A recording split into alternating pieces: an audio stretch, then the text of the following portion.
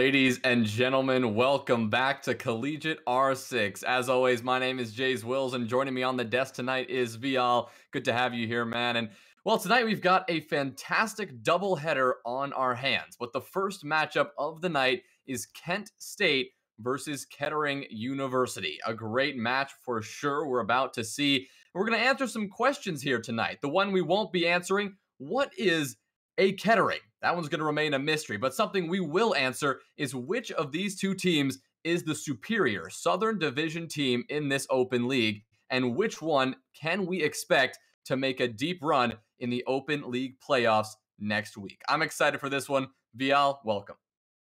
Great to be with you, Jay Z. And honestly, I don't think we can count either of these teams out for a deep run because this is just for bragging rights at this point because both of these teams have a guaranteed spot, which I believe you have mentioned before.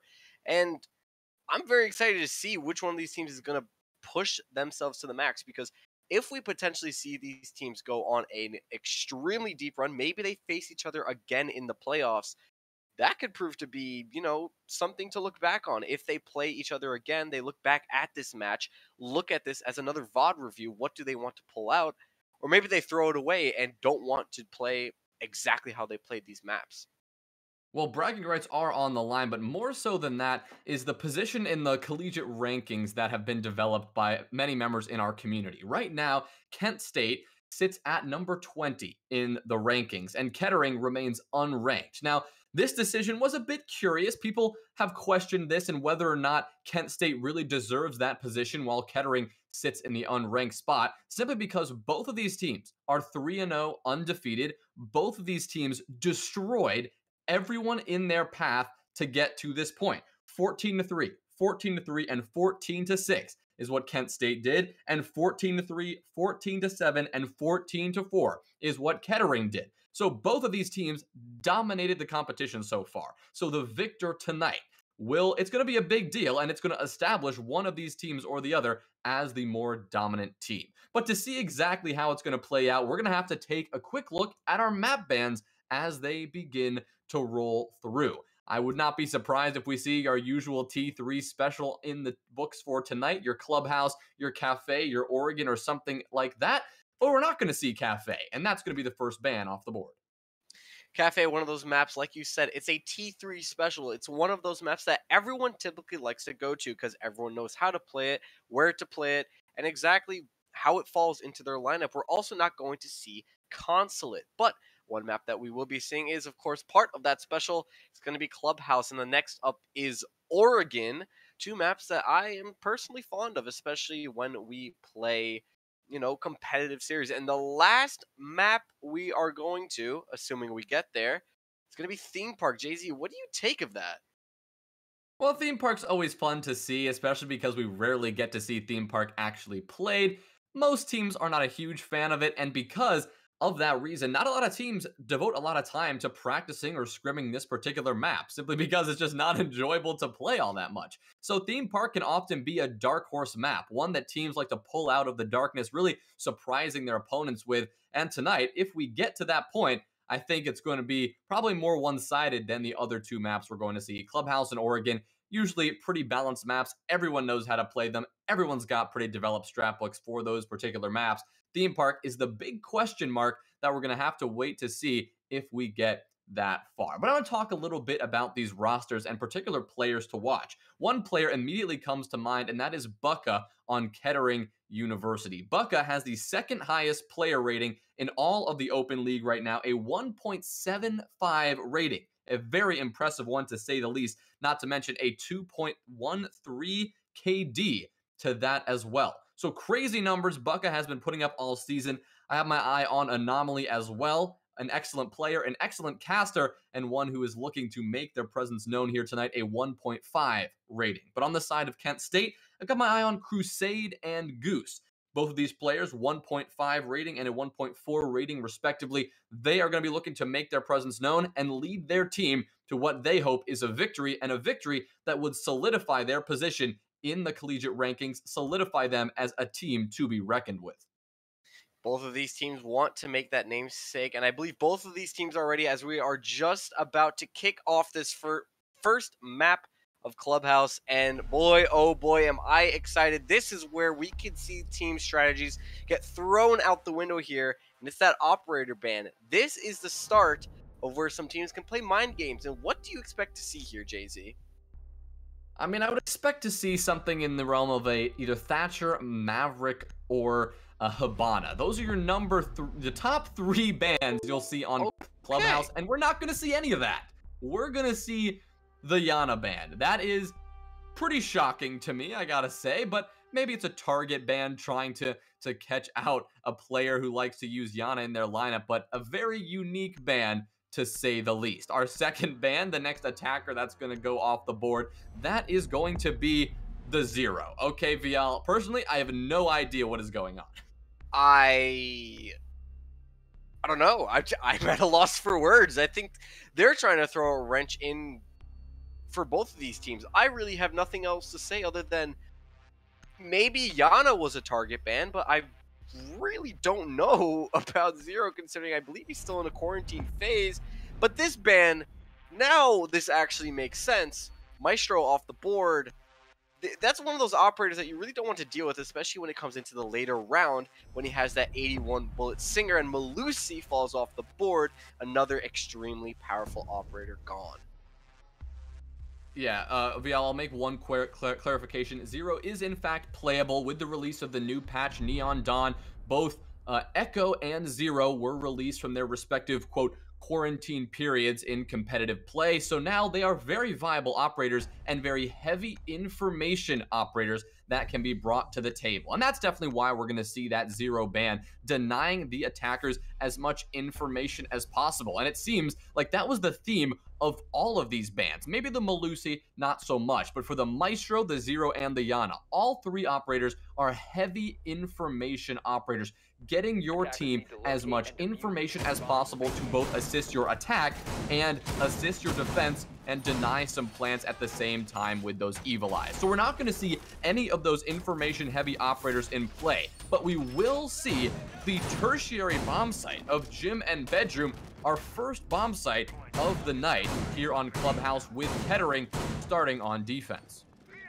Well, that makes me wonder then, is it really a tertiary bomb site considering they picked it first? They must have something up their sleeve if they really want to play this site, or they must just feel extremely comfortable, and it makes a lot of sense. Certain teams feel comfortable, or rather more comfortable, on other maps and certain sites, just like they would on other maps and other sites. So maybe Kettering has something up their sleeve, an ace in the pocket that they elect to bring out here, but right now it just looks like a standard hold yeah, we're going to get this standard gym bedroom hold going on. You're going to have a little bit of that cash extension as well as a roamer downstairs. That's going to be the Jaeger. That's Papa on the lurk. The cash extension is going to be a point of focus on this round, and what can make or break a good attack on gym is how efficiently you can deal with the cash extension and if you can survive the pressure that is going to be applied from that side. In combination with some castle barricades that Bucka is bringing to the table, it can be very challenging to work your way in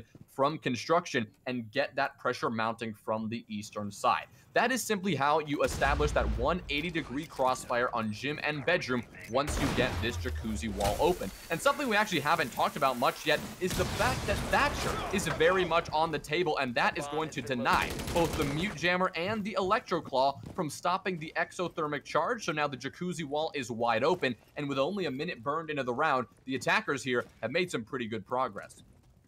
It's very rare that we see Thatcher on the board for any team and any map fact that he is, it's going to bring a lot less versatility to a defense. You know those walls are going to get open very quickly and very effectively. So sometimes I even question bringing in a wall denial like a Kaid, because sometimes he's not as effective as, say, a Mute, who also brings a Nitro Cell, but also brings a better shotgun. And speaking of better shots, Derp gets that first frag on the board for Kettering. He's going to open this series wide open. Well, starting it off in style, that's what Kettering is up to, but IRX has the answer, and with the 5.56, will take the head of Snappy. So that's the Kaid off the board, and now with one minute to go, this attack has now continuing to mount that pressure, but they need to get this pressure mounting onto the site itself. Uh, Goose will be the player elected to pressure from this CCTV and Cash side. The Nitro Cell rains on through, but will not deliver any fatal blow. Derp still holding tight on this green box, hoping to stall out this push. But all alone is the Nomad, and so the push from the gym is the next step in this attack. But there's one player to defend that, and that is Bucka, lurking carefully as the castle, hiding behind this wall. Actually snuck all the way up into gym, but Derp will take the shots and find the head of Goose. Bucka finds another, though, and that's going to be IRX to drop. And now it's two versus four with 20 seconds to go. Crusade has to find something here, an opening, so that way he can get back on into site. He believe he saws the head just by those dumbbells, but no, his head is actually going to get cleanly taken off by Anomaly. And all 1v4 with low HP here for Snooky. Not going to be able to land it as the SMG-11 rings true once again for Anomaly. And Kettering, they land their first round in what looks to be a long map. Well, a brilliant first defense, especially on the tertiary bomb site. A bold move, to say the least, to head to gym and bedroom first. But winning it sends a message for sure. Now you have uh, KSU on the back foot, no doubt. Now they are the ones who now have to find some traction on the two harder sites to get your attacking pressure mounting. We saw a brilliant gym defense, characterized both by brilliant defensive play and a bit of attacking struggles from the side of Kent State. They failed to get a good crossfire going rather than double swinging or getting some really good aggression as a unit. We saw a couple of solo plays, a couple of attempts to push into site on their own, and as a result, they took gunfights one at a time, and that is simply not the situation you can be in attacking a team like Kettering, who is a strong defensive team and a very competent roster that can lock down any site that they are presented with. But here in round number two, our focus shifts from Gym over to Church and Arsenal. Definitely more of a viable site. Surprising that we're seeing this one second, but nonetheless, we are going to see exactly what Kettering tries to do on this setup and what Kent State can do on their attack. Derp actually takes a little bit of early damage. Not exactly sure what that was from. Could have been from an attack that threw or from something else, maybe a shotgun blast trying to open up a rotate hole. However, that could play a huge factor here for that attack, especially if they can get an early pick, say onto Derp or anybody else. That puts them in a huge advantage, especially in terms of health. But I want to talk about this site a little bit more, especially going to it as a secondary bomb site. I personally find this very, very strong, especially if you have a team that can coordinate it extremely well and you know exactly where everyone wants to play and where these attackers are going to come from.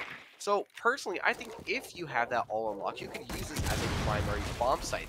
Again, still kind of fascinating that they're wanting to stay away from that cache CCTV bomb site because that's typically the bomb site that we see is number one on most teams' lists. It's very rare that you see it as a tertiary bomb site, but clearly Kettering knows something that we don't. Well, they're hoping to keep this locked down as long as they can, and with this roam clear going down, or at least attempting to go down, and with a minute burn, it's not too bad. This is pretty good progress made, and IRX will now use the exothermic charge to continue that very progress and open up this Moto hatch, giving them a line of sight onto the site, but the C4s rain on through the hatch, but they will not land true. Bucka could not connect that one, and now Snooky here will be very aware that there could be a player above, but for now, with that full clear, all five attackers now stacked up in bar now have to make the decision of where they want to pressure from next. Bringing only one hard breacher on this map, especially when all the others are unbanned, is an interesting choice and limits you to only two hatches or a hatch and a wall. And that can be very limiting, especially when attacking this basement where so many walls need to be opened wide. Derp gonna open it up and find the head of one, but Goose with the response will take down Derp as well. So keeping it even now in a 4v4, as now a minute rears its ugly head on the clock. This push is gonna have to come through. Problem is here, they don't have a lot of info on where these defenders are, and now that each and every single one of them are on this part of the floor of the bomb site, they're susceptible to any of these peeks. And speaking of peeks, it's gonna be the C4. He downs one. That's Snappy and catches Goose. Bucka gets one back as well. But there we go. It's now left in a 1v4, and it just doesn't look possible. Kettering on the front foot of this matchup right now.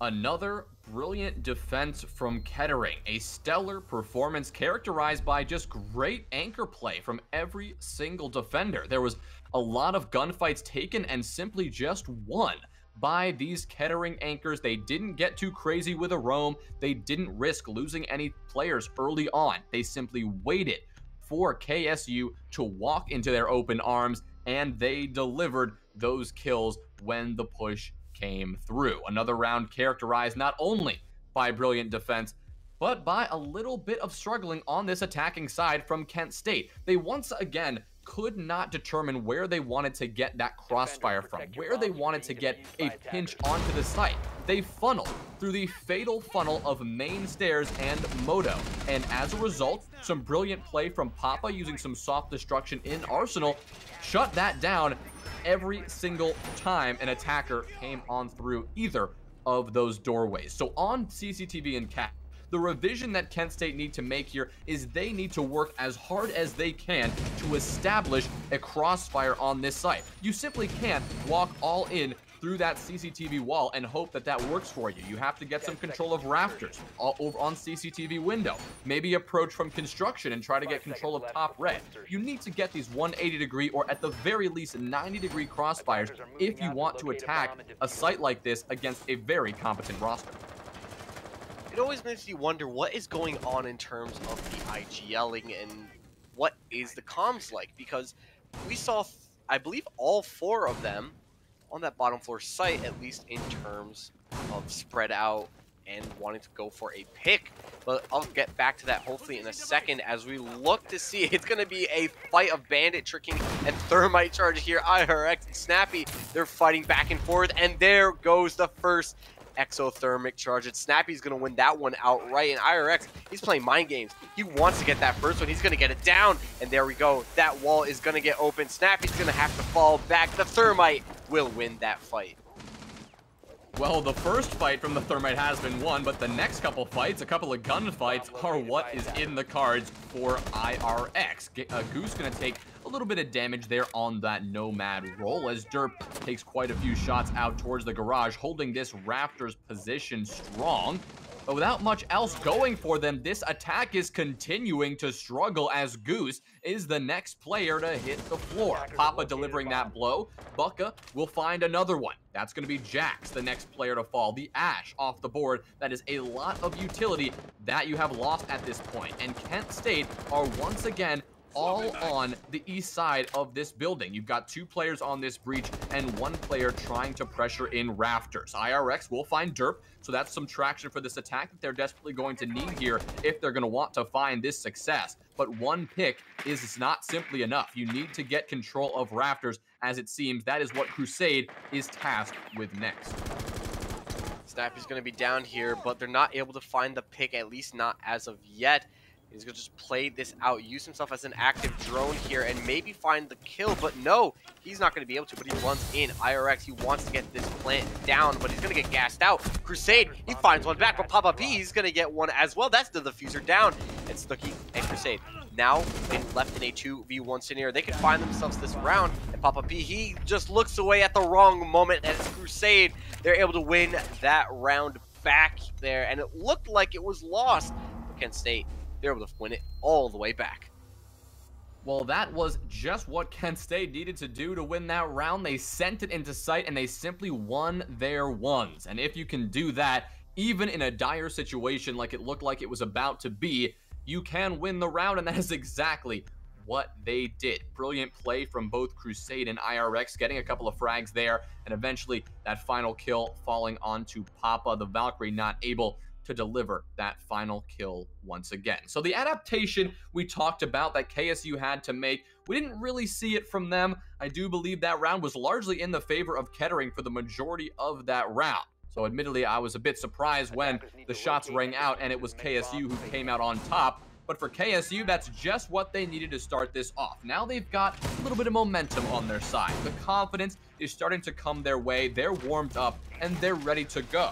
So as we go back to gym and bedroom, a challenging site to lock down on defense, I gotta say, Kent State here, if they can pull off something like they did in that last round, simply peeking at the right time and winning those ones, this one is to go a lot better for them than it did that first time around, VL.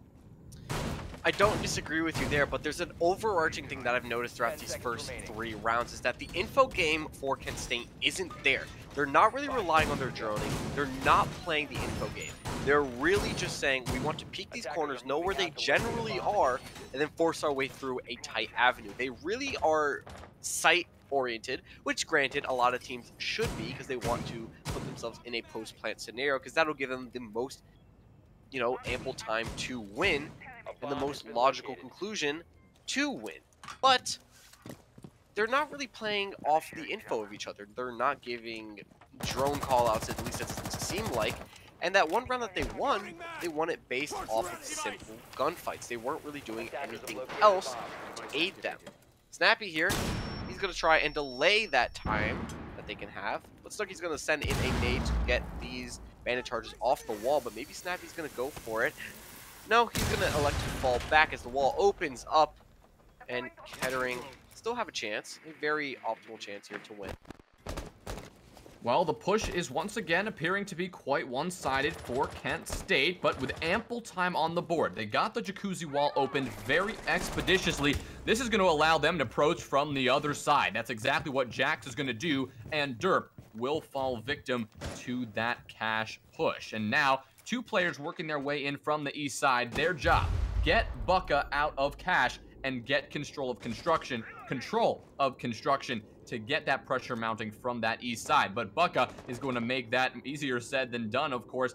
Bucka is tasked to lock this down. Papa's on the flank though, but there is one player ready for it to come down, but the Zofia gets over aggressive and Goose hits the floor. Snappy with a response as well as IRX will be the next to fall and Snooky with a follow-up will get the refrag on to Snappy. So keeping it even here in a 3v3 with a minute 15 to go. Now Snooky has worked their way in over into this jacuzzi hall in the bedroom hall and now has the possibility to get a more direct take onto the site. But with the site pressure split now, they have to get a coordinated push going and find these elusive defenders who are not giving any opportunities to Kent State to find these frags. They're playing passive and patient, but that's not what Anomaly's gonna do. Just as I say that, he will over-aggress, and he'll get punished for it. Bucka has a response. 2v2 is what it's even now. Papa on the flank, looks for the player. The headshot delivered on a Crusade. It's now a 1v2 with Snooky stuck in the shower. Snooky's gonna have to find two players to win this round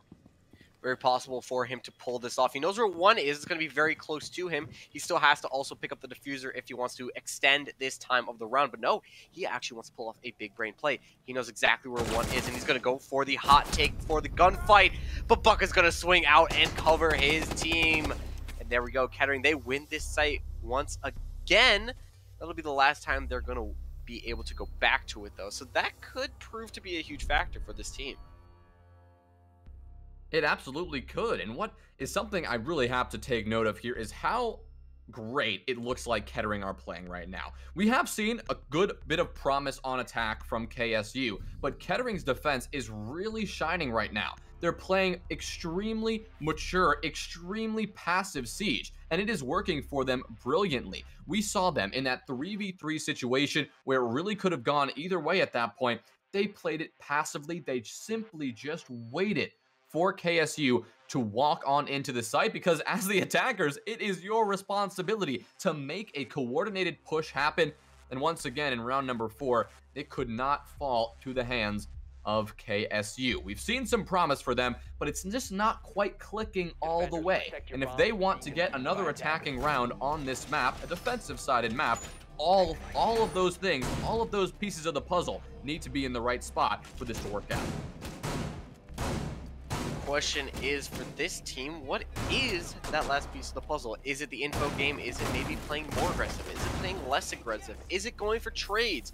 We don't know, or maybe we do know, but it's up to them to find that last piece of the puzzle as we enter in here round number five, the penultimate round of this half.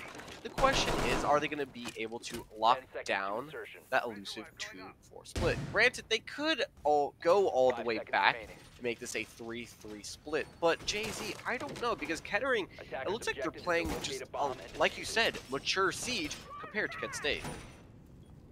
Yeah, it's going to be tough for this attacking squad to really get that traction on this site. We saw them get that success, like we mentioned, on that CCTV site earlier. And with Derp on the alibi, a pick that is always an interesting one to see. On Church and Arsenal, this is the time you then generally will see an alibi pick if you ever do.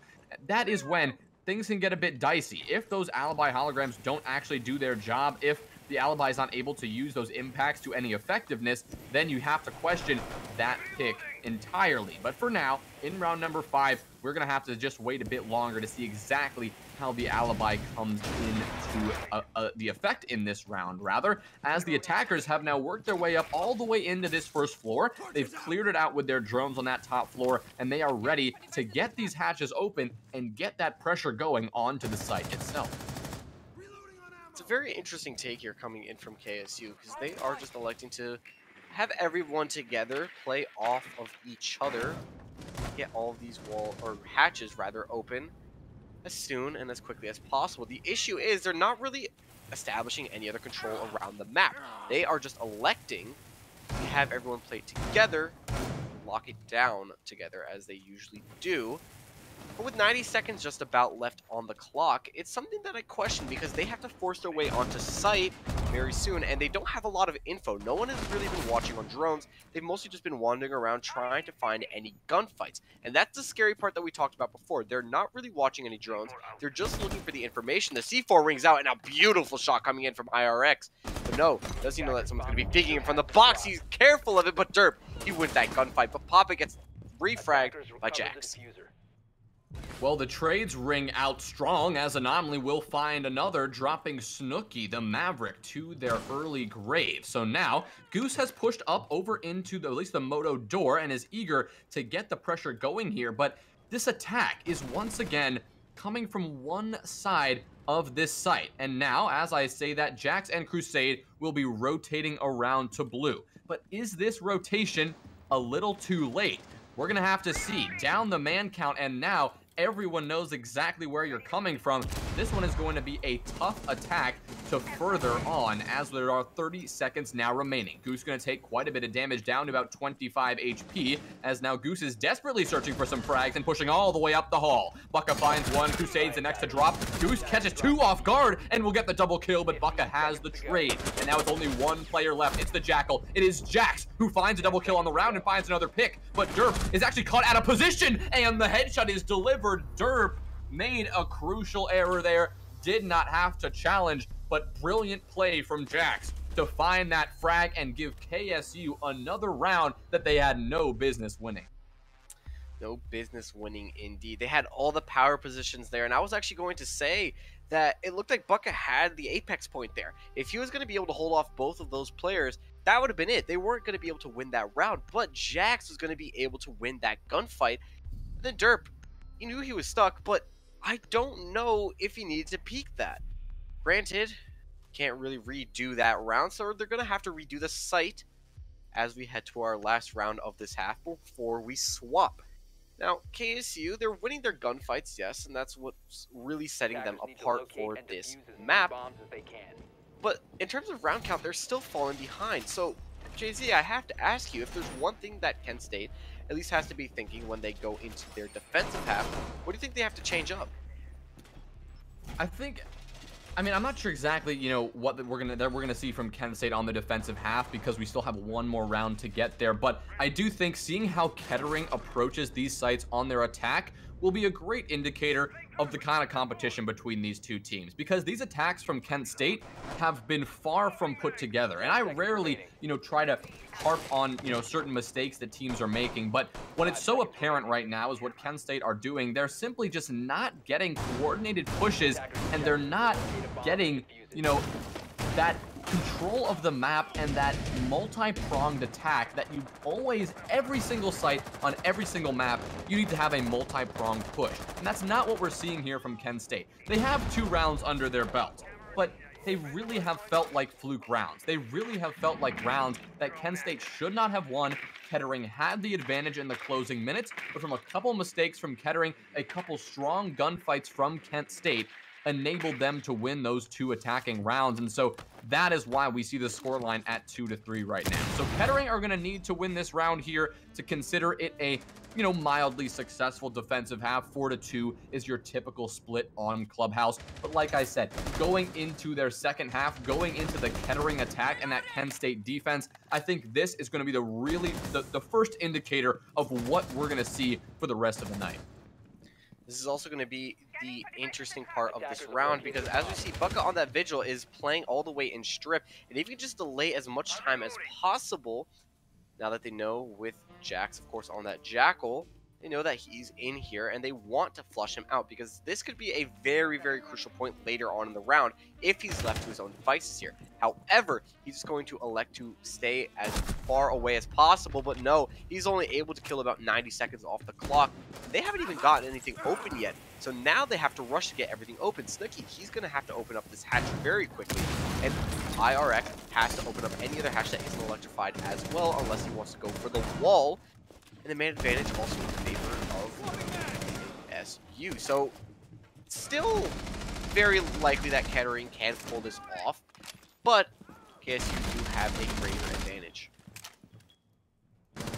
Yeah, we still have a minute on the clock. A good amount of time to work with if you're this attacking squad, but you still need to get this pressure continuing to mount on this site. Once again, it was a main stairs push that Kent State brought to the table, and now that has enabled them to get all the way up into Moto, and now they are making quick work of this church wall. The frag grenade goes on through, but Anomaly will not be felled by that, but the player in Moto is going to find one. Snappy hits the floor, but then Goose will TK, taking down IRX, and Derp will then trade the TK, finding the head of Goose, keeping it even in a 3v3. Now Snooky challenging some quick peeks over onto those Arsenal players, but nothing has been found just yet. Anomaly, I'm not sure if he is known. He's holding this very close position behind the bar. He's going to go for the swing, but he was caught out by Snooky because of that slow swing. And so now, with the plant on the deck, it is a post plant and a 1v3 post plant for Papa with 5 HP to their name. Caught unaware, but Jax will swing the angle and find the headshot with the C7E to deliver a brilliant attacking round win for Kent State. And this one looked clean. This one they deserved. And that is going to bring them to that 3 to 3 split going into this second half. As deserved and as put together as it looked, I still have to be a little bit more scared if you're Kent State because as we saw, Anomaly was just holding on to a very, very slow peek angle, and he saw the head of Maverick. I don't know if he saw Snooky's head or not, but from our perspective, it looked very, very likely that he was able to see him, but elected to go for the swing instead. Maybe he thought that he was scoped in somewhere else, but still, I would have gone for the head of the Maverick rather than the Planter, because the Planter still has to go through a whole animation to kill you. So I don't know if I agree with that decision, granted, you can't relive rounds, as I said before. So we're going to swap halves as we head to a 3-3 split. And Jay-Z, Kettering, granted, they fell a little flat there in the last two rounds, but do you still give them the edge, or do you think that maybe the momentum is shifting for Kent State in this match? Well, I would definitely say that Kent State has all the momentum right now. That was a couple of successful attacking rounds that they won, and Kettering may be a little bit on tilt here. 3 to three on Clubhouse on your defense is not where you want to be, especially when an attacking team doesn't really have it all put together like Kent State struggled to do. So on their attack now, Kettering is going to have to go out with all cylinders firing if they want to get this momentum back. I think they have it in them. This is a pretty experienced team compared to Kent State, definitely a newer team. But the one thing we're seeing already, the one thing I have to put a big question mark on is the lack of a secondary hard breach. On Clubhouse, when you have all of the hard breachers unbanned, there is no reason not to replace someone like a Jackal, or you could even argue an Ash, with an Ace who has a very powerful gun, or even a Hibana, who has the ability to do quite a bit of hard destruction. So Anomaly, the sole hard breacher, will be successful in opening up that... Oh, I don't believe it was actually. A successful bandit trick will characterize that instead, as Derp will take out Goose. So Kettering did get an early pick, but they lost one exothermic charge, maybe both exothermic charges here, and now struggling to do much else. They are going to have to get this pressure mounting onto the site from elsewhere. Yeah, I believe they lost both exothermic charges, and that's going to be a huge blunder on them. Now they have to just rely on pure gun skills, and Snooky's going to win that first gunfight outright, and Jax is also going to win that. This is turning into a very, very good round here for KSU, but as I say that, of course, Snappy wins that gunfight once again. But like we talked about before with Kent State when they were on the attack, they're going to have to funnel through on certain avenues of site. And with no secondary hard breacher like you spoke about, Jay-Z, there's not much they can do. They really have to force their way through gunfights, use flashbangs to try and get through, and then hopefully win those gunfights outright. But we know Kettering, we know that they can win those gunfights. The question is, do they have the info to win those gunfights? Because it doesn't matter if you can win a gunfight just based off of range and pure gun skill. Do you know where they are to give yourself the advantage? Even with 60 seconds here left on the clock, Kettering it looks like they might stall out here and just hope that somebody peeks into their crosshairs. Yeah, all Kettering can do right now is hope and hope that they win these ones when they push into site eventually. That's exactly what Papa will do. The headshot delivered onto Jax, so now they have the advantage, and now they have cash control. Okay, both Crusade and IRX have backed on off, and IRX with a C4 in hand is going to get caught out, and that's Snappy who delivers the fatal blow. Crusade has the response, but so does Papa and Kettering they win a round number seven other round that an attacking team seemed like they had no chance of winning, but when the 20 second meta comes through, when that final execute rears its ugly head, it was a push characterized by brilliant gunfights and a calculated aggression that won the round for Kettering. I think we got to start giving both these teams the credit that they deserve when it comes to these disadvantages. Because, yes, theoretically they have the disadvantage in most of these rounds, especially these attackers, but they are somehow able to pull it out each and every single time that we've doubted them, or at least a majority of the time that we've doubted them. So I think we got to start giving them a bit more credit and start hoping that even with exothermic charges getting knocked off the board, even with you know certain players falling very quickly, I think we start we have to start worrying about you know that later round because when the later round happens, teams start getting desperate. They start playing more aggressive, and they start showing the flashes of brilliance that we love to see from certain players. So, I don't know. I, I think we just start have to worrying more when we get into the later round. And when we give a team a disadvantage, I don't think we can give them one because they're still playing very, very well. But we head into round number eight, of course, and they're actually going to replay this bomb site, them being State. And what do you think of this, JC? We we always talk about replaying bomb sites and if it's necessarily a good idea or not. Yeah, yeah, we, we, we definitely, I mean, personally, I don't love to see the same bomb site twice because you have three, or definitely two, and as a Kettering showed, three viable bomb sites on this map you could very well choose to defend. And so going to the same one again simply means that there's something that you can do better. There's something you know you have the upper hand and you are going to make that adjustment and win the round. And honestly, in this particular case, I don't mind it too much from Kent State because they should have won that previous round. They had the advantage for the majority of that round, and it was only that last second push that went wrong. A couple of peeks from those defenders that did not have to be timed as they were resulted in that round falling to the hands of Kettering. And so choosing to make a little bit different decisions relating to those gunfights could be what Penn State needs to win this round here in round number eight. But Buck is going to change things up a bit and pressure from below, hoping to force off this bandit early. That's exactly what it will do. And now this exothermic charge was successful and Papa will be successful in finding the body of Goose, dropping Goose down to the floor. Man advantage now for Kettering with plenty of time still left on the clock and KSU now have to adjust. They have to play in different positions just in case that players are going flanking them from certain angles. And it looks like this is, we're going to see a split push coming in like we talked about. It's all about that pronged assault. We're going to see Bucka and Derp maybe go in from a certain, or a different angle rather. And as I say that, Anomaly is going to find two onto the board, and Crusade and Jax now left in a 2v5 clutch. It's not in a very good position, but there's two players that would be able to do it. It would be these two. So I don't want to write them off just yet here. Still plenty of time. And Kettering can play for the advantage and for the time. They still can use their drones and the info. And as I say that, Jax finds one, but he gets refragged by Bucka. And now that they know exactly where Crusade is, now they can just play their time and go in immediately. Not able to spot the head out there, which I believe was Snappy, but I'm not exactly sure. As this plant is going to go down. Well, now in a post-plant, Crusade is going to have to find three pesky attackers or go for some sort of cheeky ninja defuse, but that's going to be a near impossibility as the attackers are well aware of his position on this rafters rotate and are looking to shut him down no matter where Crusade chooses to approach from. The peek from the breach will gain Snappy the kill and Kettering round number eight. They will go ahead five to three on the score line in this map, which has proven to be relatively attacker-sided, it appears, thus far.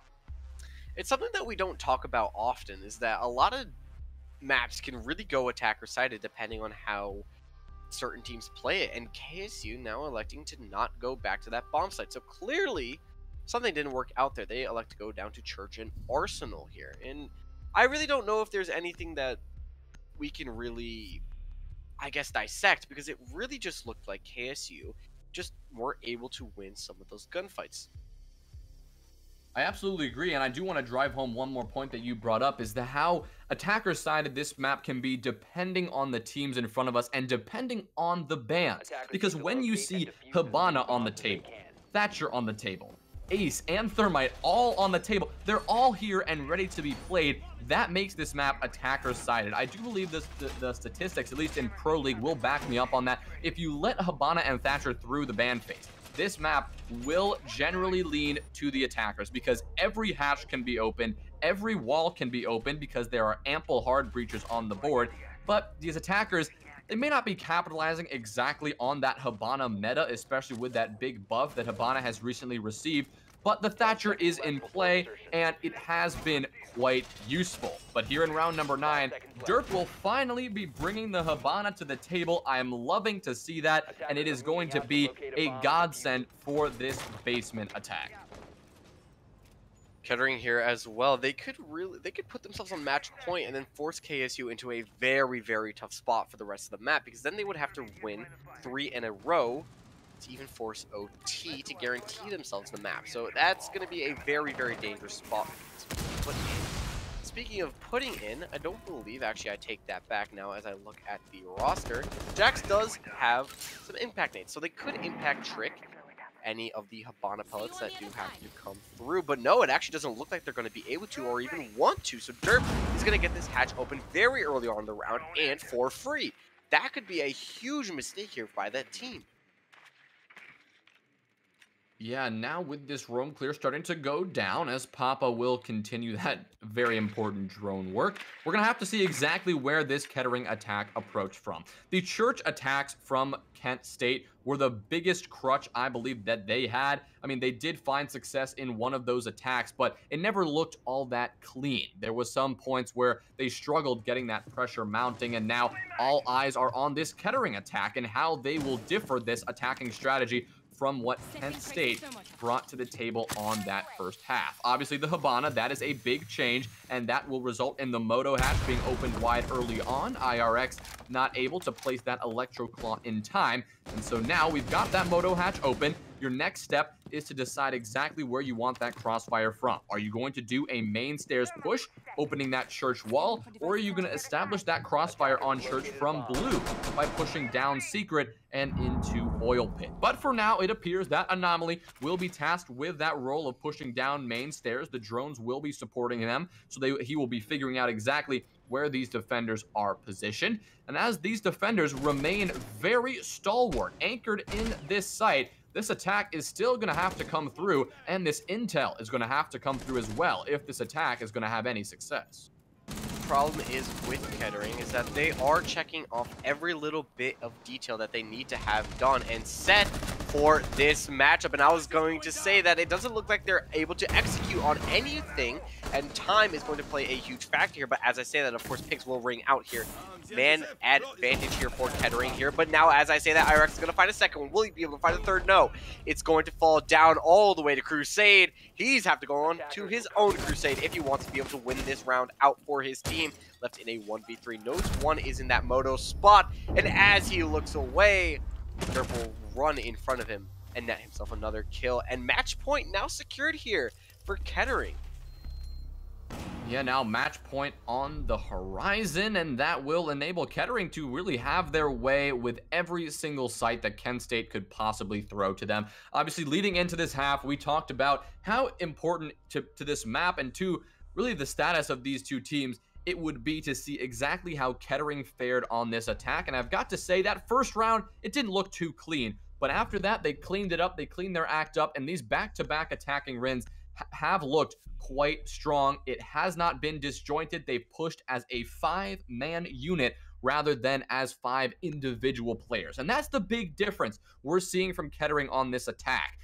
Kent State did have a good amount of success on attack, of course, but the difference here is this attack is a bit stronger than Kent State are prepared for, even on their own map pick. Obviously, that's something worth bringing up. Clubhouse was Kent State choice. The next map, Oregon, Kettering has elected to go there next. So if that's any indicator of how things are going to go out, well, we can't exactly be sure. It is so common in collegiate to take each other's map pick and go to that decider, but only time will tell as Kent State have once again elected to head back to the basement. The repeat site is Church and Arsenal. 10 seconds left.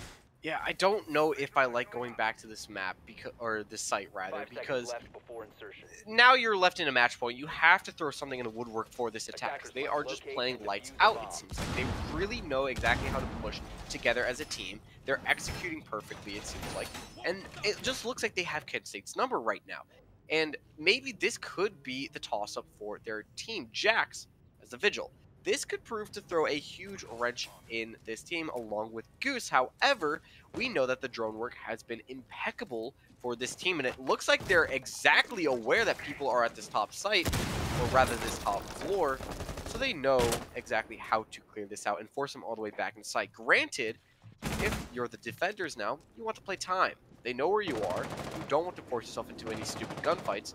So just try to waste as much time as possible. But as I say that, Papa, he's going to reach double digits as he finds Goose trying to fall back. And still with two minutes left on the clock, Jax is still up here.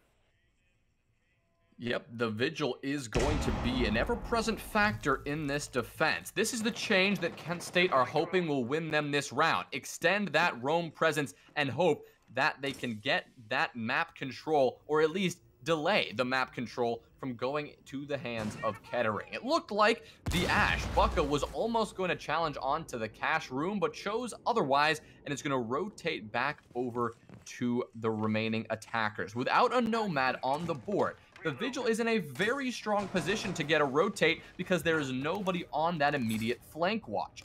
Goose tried to join Vigil, of course, on that extension, but was caught out early and was a, once again that early pick off the board. That could prove to be problematic, but our eyes are going to be on Jax and exactly what they are going to be able to do and possibly how effective this could be later in this round. But for now, the attackers are going to pressure directly onto this site. Snappy going to go for the roam clear, but it will be denied. So Jax will uh, capitalize on that in a big way with that headshot, as will IRX, who delivers that. Jax with a double kill. Oh no, it's falling apart for Kettering. They did not take care of this Vigil, and they're feeding him one kill at a time. Anomaly and Derp are all that remains of this attack, and they are going to have to find four hungry defenders, not to mention a very elusive Jax playing in construction. I think this round just boiled down to that roam game and clearing it out because granted they took out Goose very early on and they must have thought, hey, maybe he's the only defender here. Maybe he's the only one that we have to worry about. But Jax was also there. Not anymore as Derp finds one back for his team. The question is, with 20 seconds left on the clock, are you going to force your way on some gunfights, or maybe do say some KD? You like to use this as a sort of timeout. It looks like they want to use it as a timeout, but no, as I say that, Derpy's going to force his way all the way onto site. Will he be able to win the first gunfight? No, he does not. Crusade wins that out. An anomaly just having to feed some wolves really quickly as Snooky closes this round out. Well, Anomaly could not make it happen, nor could Derp. The two remaining hard breachers tried to bring it back, but KSU will remain in this match, or this map rather. They will not fall to map match point number one. There's two more match points on the horizon for them if they are going to want to bring this one to overtime. And here we are in round number 11, where they are headed back to CCTV and Cash to find that win and do exactly that. Bring it back and hopefully send this one to overtime. And we talked about the adjustment that Kent State made. It was extending that roam. It was Jax, the key player of that round, the vigil that could not be felled upstairs in construction, taking out every single player that challenged him. So a brilliant job from the Vigil. Not so much from Goose, but it didn't seem to matter because the Vigil took care of that extended roam, and the roam clear was unsuccessful for Kettering. So they're going to have to iron out that roam clear, and Kent State are going to have to continue throwing a bit of roam to be that thorn in the side of this Kettering attack if they're going to want to bring this one back here. Yeah, Kettering just didn't seem I don't want to say they look disorganized because they they have looked so organized over this matchup, and it's kind of impressing me that a team has just been looking so well oiled compared to a lot of teams that we normally see. So I'm thoroughly impressed.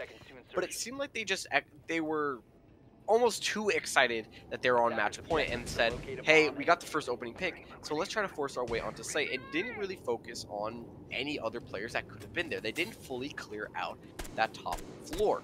So maybe they elect to take more time to find someone, but no, instead they elect to bring Bucka on the Jackal, and that could help them as well, considering they know that roam was going to come out, because that's exactly what Kent State are doing, and that's what what's going to lead to most likely another win if they can force this to all 12 rounds.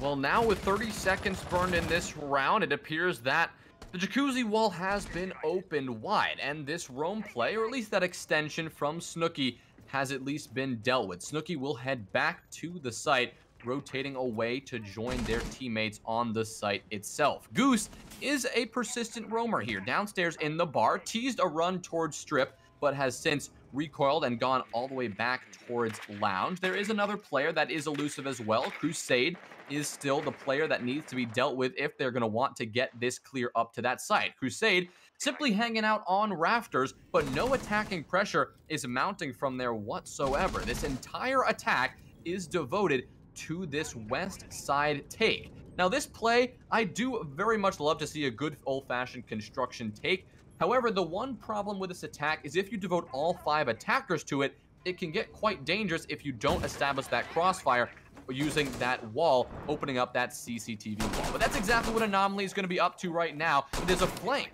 to be worried about from Snooky, creeping their way up the main stairs and these attackers are going to have to be very careful. Once again, there's no Nomad, so they don't have the ability to lock off those flanks, and Jax with the C4 rains on through, and that is going to connect with the head of Bucka, or the whole soul of Bucka, and the Jackal will be taken out early. Still also not aware of Snooky, who can go for a very, very late flank, elects to wait even longer, but he's going to find a early kill here. This is proving to be very, very advantageous here, and the roam game is exactly what Kent State have figured out that they need to use to win. Snooky is now going to put that flank into effect, finds one, but he gets traded out immediately by Pop. and Snappy finds one back as well. 35 seconds about left, but Jack is going to get one for his team once again, and they're going to force their way on into site, and they're not expecting it, but it doesn't matter, because Kent State is going to force all 12 rounds on us as the kills rain true for them. They did indeed. KSU is staying in this fight. It is now 5 to 6. It's still match point, but it is definitely winnable for Kent State here. But Vial, the big problem and the focus of this round is all that is left is the tertiary and quaternary bomb sites for KSU to go to. They've avoided Gym like the plague for the entirety of this second half, but to take this to overtime this is a defensive performance that they are going to need to iron out and get this one going. We haven't seen Gym and Bedroom from KSU thus far. They've never brought it to the table, but if they are going to win this round, they are going to have to lock down this tertiary bomb site with all their might. A hard site to defend, but as Kettering proved on that first half, it is a site that is absolutely possible to defend. As long as you play patient, you play mature, you can win your gunfights if you force the attackers to wait into those last few seconds to push on through. We're not going to see any surprises in terms of our lineups for either of these attacking or defensive squads. One thing to note, Anomaly will be finally switching off that Thermite role and will be electing to bring those Selma charges that Ace wields. It's going to prove to be a, I think, a smarter pick here because instead of just two exothermic charges that granted yes to get a bigger portion of the wall open in a lot quicker amount of time, you're bringing in three types of breaches, which is going to play a factor into how much of the wall you get open. And if they're going to elect to bring a bandit, which of course IRX did, it's going to prove that they can just, you know, play as much time and hopefully get a pick on to the feet of IRX. And that's going to prove, you know, I said prove a lot, but what both these teams are going to do. Kettering now is very aware of this roam game because the roam game twice in a row have given Kent State the edge. And that's going to prove that they need to do something else. And I'm going to stop talking before I say prove one more time. well, it is a tougher site to roam on, and Snooky will be proving that for us as Bucka will be taking down that sole player on this cash extension. Like I was saying, Gym and Bedroom, it is hard to get a good roam here. All you can really do is hope for that cash extension to work out well. We do, of course, have a cheeky roamer hanging out below.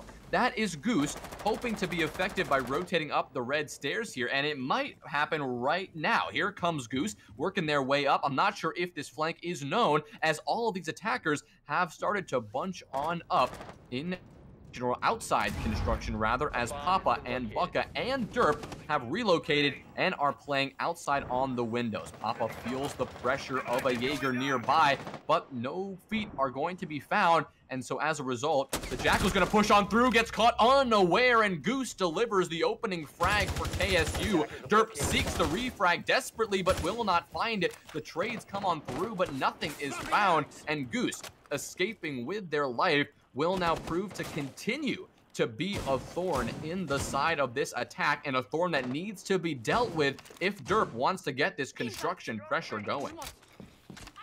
60 seconds now left in this round. Kettering, if they're able to win this out in a beautiful shot coming in from Derp, that's the man advantage now. The question is, where are they going in? Bucka gets his double kill for the round, and IRX and Jack now left in a very unwinnable scenario. Kettering, they finish it out at round 12. It took all 12, and Kent State wanted to push it that far, but it didn't matter. Kettering still looking as organized as they were before, but Jay-Z, if we're watching Kettering and if you're a fan of them, you have to be worried about that roam game heading into map number two. I think I think you bring up a great point. I think the roam game is definitely something we're going to have to watch on Oregon. Of course, Oregon is a map that you can the roam can have mild success sometimes it works really well but if you have some good pre-placed drones you have a good roam clear you can shut down any roam game on oregon in an instant so it's not going to be the easiest thing to both roam or clear the roam on oregon but we're going to have to wait exactly to see how that one plays out. We're going to send it to a quick break. And after this, we're going to see how Oregon, Kettering University's pick, will play out. Of course, Kettering had that win. So if they take map number two, it is all over, folks. And that will conclude this matchup. But we'll see you in a few moments. We will be right back.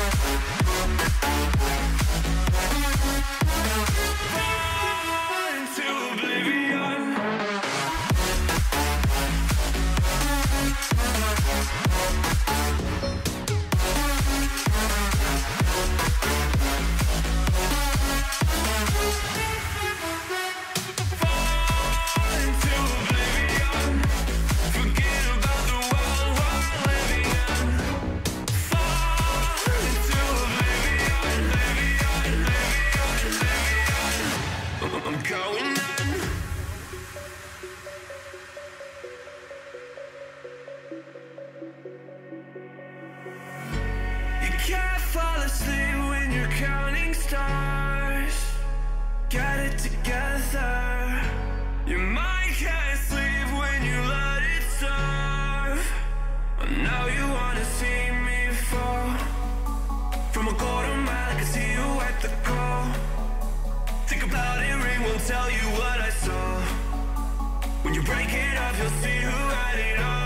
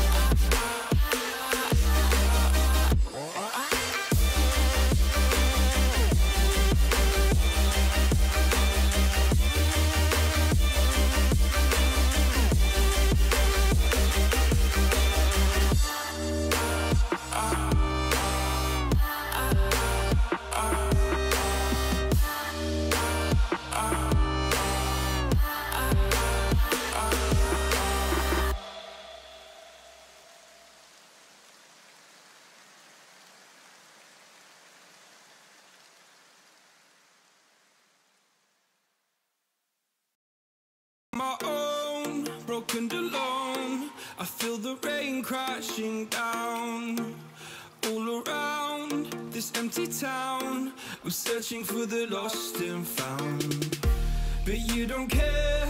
You're unaware.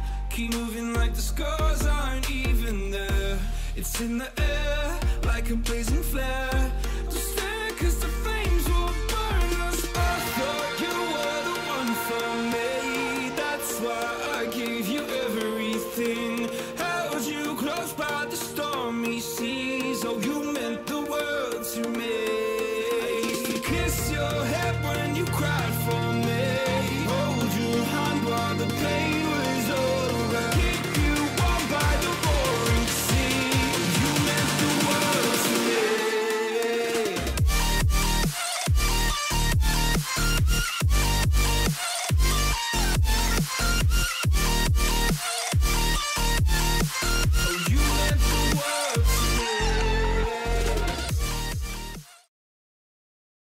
Ladies and gentlemen, welcome back. Thanks for sticking with us. If you're just joining us, it was map one, characterized by a lot of interesting attacking strategies, some interesting ban phase, but overall, a great map one, and I am stoked to see map two. Once again, my name is Jays Wills, and I am joined by Vial on the desk tonight. Vial, we saw a great map one. Talk to me. What are your expectations going into Oregon? Well, the only expectation I want to see is that both of these teams adjust because we didn't really see a lot of that happen from both of these teams, except maybe on the last round. And I don't even think we saw the winning team, Kettering, come out with an adjustment. They really didn't watch their roam game.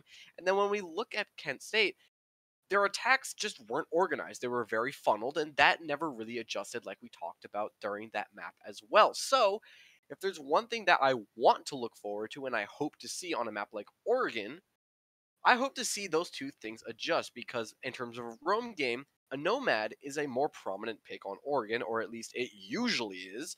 But we've seen a lot of things strange happen in today's matchup. Like, we only saw Ace brawl, I believe, once in that entire map, and we also only saw Hibana, I believe, brought once as well. Yeah, that was it was an interesting way the attacking teams chose to approach Clubhouse. Normally, if Hibana is not banned, you're gonna pick Hibana every single time.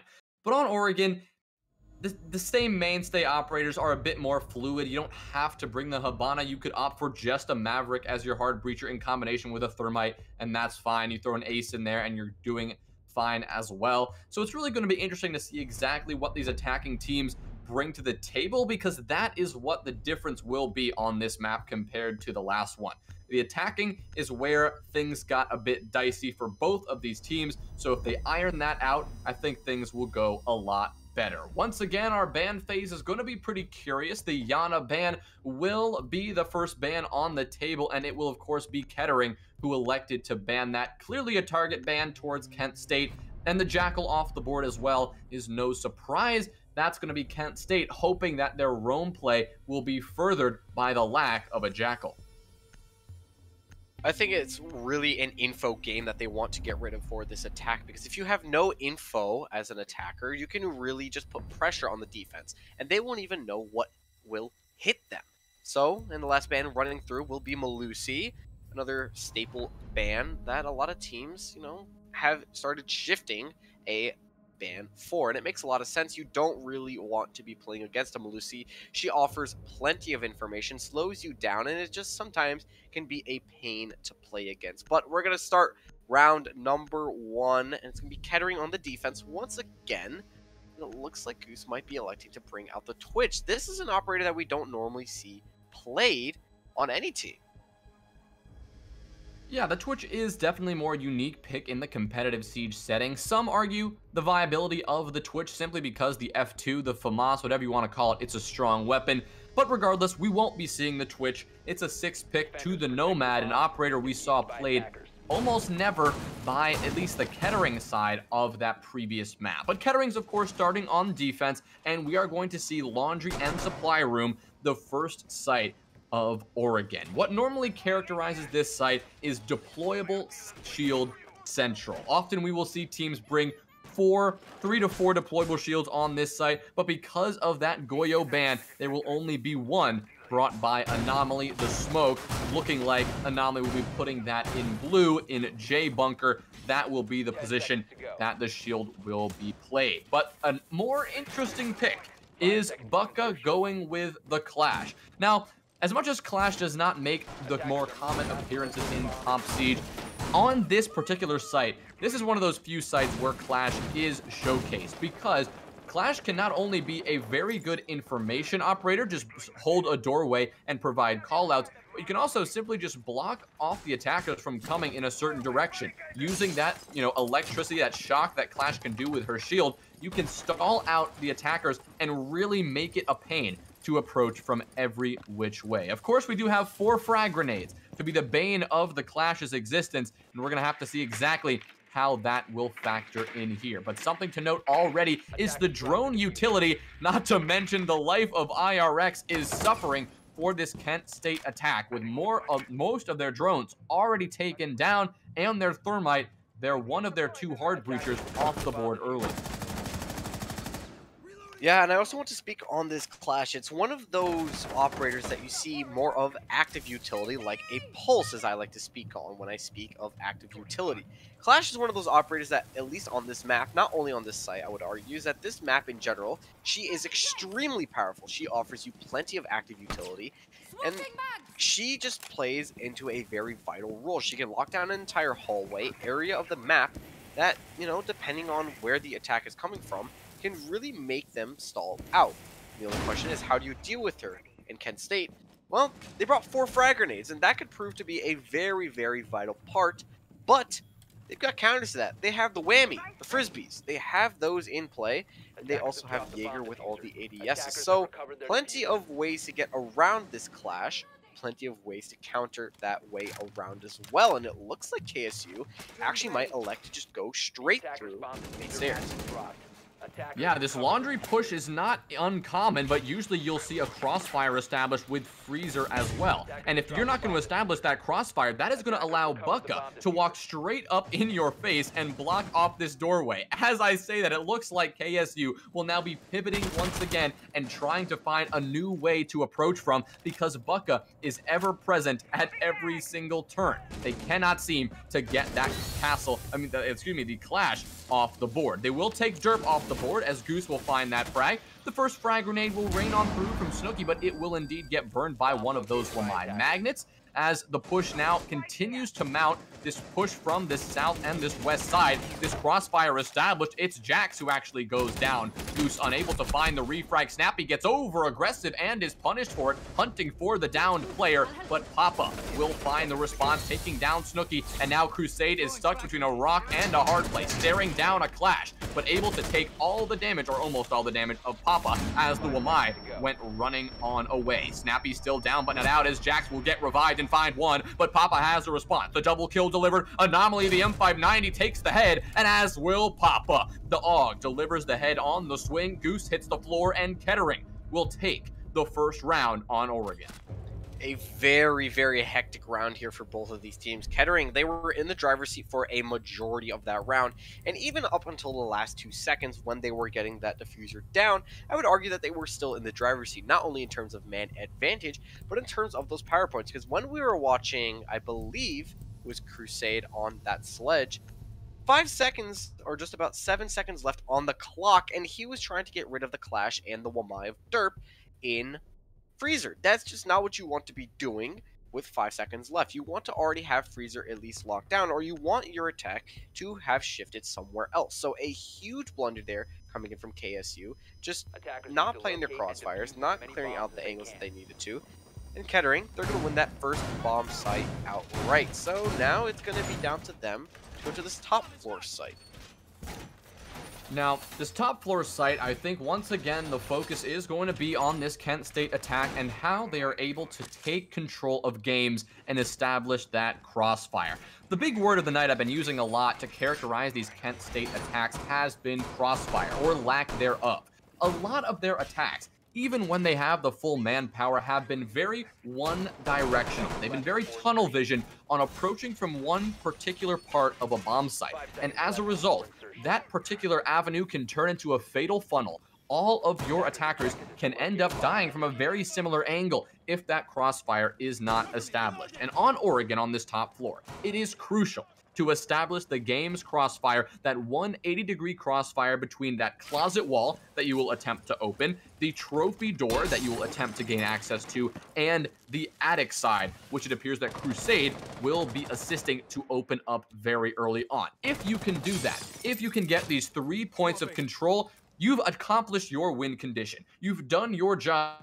All that is left to do is put the defuser on the floor. But what is interesting is we're not seeing that crossfire that I just described was so vital. All five attackers are bunched up on the north side. All five are approaching from this attic part of the building, and that is not what you'd normally like to see for a successful attack to work out well. Not only that, I don't necessarily see them anymore, but there was somebody roaming on that bottom floor site, and I believe it might have been Bucka. Bucka still has the opportunity to come back and flank them, and Bucka is on the far west side of the map trying to maybe hear something, catch someone off of a flank, try and delay as much time, and see if he finds anybody, try to make it so there's no way that they would suspect him, but they're definitely suspecting something here, and that roam game is something that KSU was able to vitalize very well when they were defenders, so they're going to be just as aware of it. Bucka wants to go for a cheeky wallbang, but not able to find anybody as of yet. Snooky. He's going to find Anomaly as the first pick, and Derp, a ill-advised peek onto Snooky. I don't know what he was thinking there. Hopefully he was thinking he could win that gunfight, but clearly he was not going to. Grenade will try to get rid of that Maestro Cam, and it does. No info now for this defense, as it's left in a 3v5 with just about 60 seconds left. And as, as I say that, Goose finds one back. It's now a 2v5. Will it be a 2v4? Yes, it is. Snappy's going to win one as he snaps to the head of Crusade. And the C4 brings out, will it catch one? No! Snooky on low HP, but not enough to knock himself down. Well, now it is up to Snappy and Bucka to hold off this one-directional push, but it is going to be easier said than done. There are four attackers to find, and they are actively getting all the information they need. They've got the drone work, and they've got the clock. They've got ample time to work with here.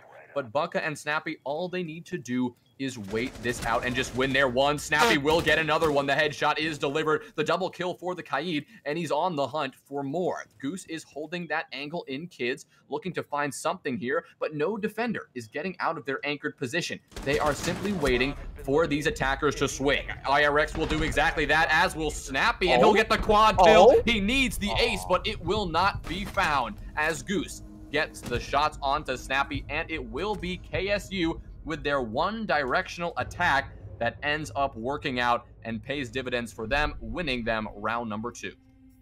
When you've got only one person focused in on one angle, just holding mouse one, hopefully everyone doesn't elect to run through the exact same angle, but they do. And that almost costs them the round because of one person snapping onto their heads, and it's snappy. So, I, I, I like you, like we talked about in the first map, it seems like these attacks coming in from KSU are very one directional. They're funneling through very specific avenues, and they don't really want to change that up. Granted, they had a little bit more info there, and they knew exactly where everyone was, so they knew that they just had to win those gunfights or force their way onto site.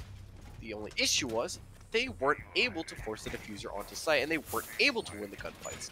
So now we're going to see a repeat of this bomb site, and Kettering they clearly feel like they can redo that. I think that they would, they should have been able to pull that off because two ill-advised peeks and uh, in in the attic rather.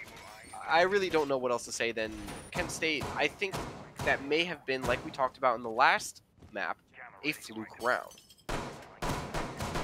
Well, these rounds do keep stacking up and they're playing out in very similar ways. So at some point, we've got to step back and realize, well, these aren't flukes. These are just simply well-played attacks from Kent State. I mean, sure, it's not what you would expect to see, but at the end of the day, they played that well. They waited for every defender to swing into their open arms. They, the defenders did exactly that, obviously, except for Snappy, who proved to be so elusive, but they played it. It was a patient attack. It was a methodical attack and it ended up working quite well for them. They found very early traction, eliminating every single defender who tried to challenge onto them, And once again, we're going to have to see how this attack is going to swiftly deal with a pesky roamer. It is Bucka holding in T3, hoping to stall out this push from the attic side as long as possible. This is going to prove to be a very dangerous peek here coming in from Bucka, and if he's not careful, he can get caught off guard. He knows that someone is on that first window. Does he know where they're going to peek from? There's plenty of other windows he has to be wary of. He's not aware that I believe it is Snooky that is on the upper part of that window, but instead, Snooky likes to fall away to that bottom floor, and that could prove, or bottom portion of that window, that could prove to be a very dangerous avenue for him, and he's just going to delay as much time as possible. Nade rings in, and only about 25 HP, or rather 20, 30-ish HP will net him anything. Now the crossfire is going to be set up by both of these players. The head might pop out if they're not if they're not careful here. Bucka is going to get naded once again, but 90 seconds left off the clock is when this first pick rings in. That's a Jaeger off the board. That isn't anybody with any active utility. Mm, that's going to prove to be very dangerous here for Kent State, as they know other players are still on the board, and Derp is going to look to get very aggressive here. And the swing just doesn't work out for him. He knows that they're there, but no bullets land and find the heads. Well, the play from Bucka, while his life was lost, job well done on the T3 play. That's all you can really ever hope for playing up there in tower. You're gonna die eventually, the question is when and Derp, dying much earlier than needed, will once again swing out over-aggressing and will pay the price for it. So already, Kettering are on the back foot once again. Papa's hoping to equalize with the Alda, raining 81 bullets on down towards the sledge. But Crusade will not be felled and will remain alive in hoping to find some more traction on this round. But Goose will be no more a factor in this round as Snappy delivers that fatal blow and a 4v3 is now what Kent State are staring down. Of course, they've got the man advantage, but the time has whittled away because of that great roam play from Bucka early on. Now a C4 comes out from Snappy. It's not going to land once again, but Snooky will once again aggress on this doorway. Papa holding a position, hoping they push on through. Snooky will do that and find Snappy. That's a double kill for him, and it will be two defenders remaining. Snooky goes for the flank. IRX finds one, and Snooky will deliver the fatal shots, and Kent State their one-directional attack seems to be too much for Kettering to handle, not able to stall out this five-man attic push, and Kent State will take back-to-back attacking rounds, a 2 to one scoreline now. Now I think it's where Kettering have to switch up where they're going to go. They have that bottom floor site as an option, and I think they have to elect to go there because now that it's open, they go there. They, you know, they're able to win that one, hopefully. And then maybe they elect to go up to that top floor site and try and tie up the loose ends, delay more time, possibly. Or maybe they elect to go for a tertiary bomb site. I personally think that they should go for a tertiary bomb site if they are, of course, able to win this one. And if they aren't, Attackers need to locate we have to talk, start talking about KSU. These one-directional attacks are starting to pay off, especially if you can win your gunfights. Maybe it just took them a map to get warm. Who knows? Yeah, they've clearly gotten warm and they've clearly winning all their ones. Every single gunfight seems to be falling in the favor of Kent State, Kent State right now. And going back to, to, to the basement site here, back to laundry and supply, it's going to be Kettering who now have the onus on them to respond. They need to get this momentum back. It is Oregon after all. This map generally plays out defensive sided. Of course, the meta is changing in favor of the attackers, I'd say, but no way should the attackers come out ahead. At least it should not be 4 to 2 in favor of the attack at the end of this. 3 to 3 is probably what the attackers are hoping to get here. That's probably the best case scenario, but four rounds for them would be exceptional if they can continue to pester these Kettering defenders and shut down every time a Kettering defender will over-aggress or swing an angle that they have no business swinging. But last time, what characterized this basement defense was some early picks that went in the favor of Kettering, and Kent State struggled to find exactly where they wanted to push from onto the site. We saw them go to Laundry, then go to Freezer, then go back and forth, and then eventually they decided on a combination split take from the west side of that basement, the Freezer and Laundry combination attack did not end up working out. But the first part of this attack, it's the roam clear, and it has been largely successful on that top floor, so now they will be extending that drone work to the second floor, and eventually to attacking the basement itself. I granted, no one should be roaming all the way at that top floor in Attic, but if someone was, I would say Goose would have lost that gunfight. Because I, I just don't understand the logic behind going in there without a drone in for you first, or just a drone in general rather than yourself. Because if it's a drone, yes, you sacrifice a lot of information for later on or finding any more info later, but at least you don't pay the price with your life, which is a bigger value than a drone, especially if we're talking overall for this matchup. And and we're gonna start seeing, you know, a split combo push like we saw later on in that last, or the last time we were at this site. 5v5 still with under 90 seconds left to go. And Snooky, he is wary of an of a flank, and so is Goose. I don't know what this team is scared of, but every single player is on this bottom floor. So I don't know what's going on for them, and they're wasting plenty of time with it. 60 seconds left to go. They have to force them out of position and into sight eventually. Yeah, but they these defenders are not uh, being picked off here. They are refusing to go down. Snappy's going to take Goose down to about 20 HP and look for the flick onto another, but it will not land. Now at 2 HP, Snappy's going to hope to toss a C4, but it's actually going to land on the close side of the wall. Now Snooky working their way up into this freezer in combination with that laundry side push from the rest of the team. They're going to hope to get this crossfire established. IRX will do that. We'll find one, but Crusade will be taken down with a trade from Papa. Goose sneaking on into prone angle, but the Toxic Babe's gonna take out one as Derp will find a double kill, and it will be all up to Jax in the closing seconds of this round four players to find, and Bucka is just gonna stare at the Zofia for the remainder of this round. There is nothing Jax can do when stared down by a treacherous Clash, who's just gonna be slowing down the Zofia at every turn. The SMG-11 will close the round off. The headshot delivered by Anomaly, and Kettering will go ahead to equalize the scoreline at 2 to 2.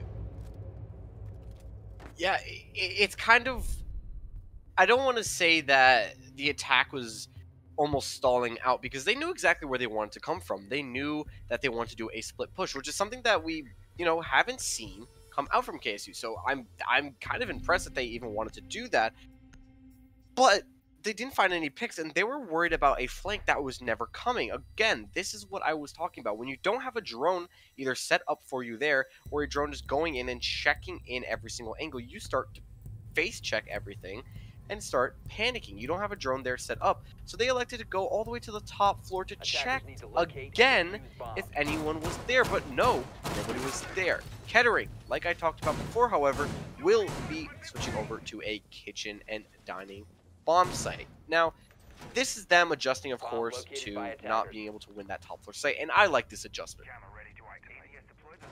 I absolutely agree. I think this is a good adjustment. They cannot seem to hold down that four or five man attic push. Instead, they're going to be opting for this tertiary bomb site. Two interesting things of note here, of course, we have the Oryx and we have the Alibi.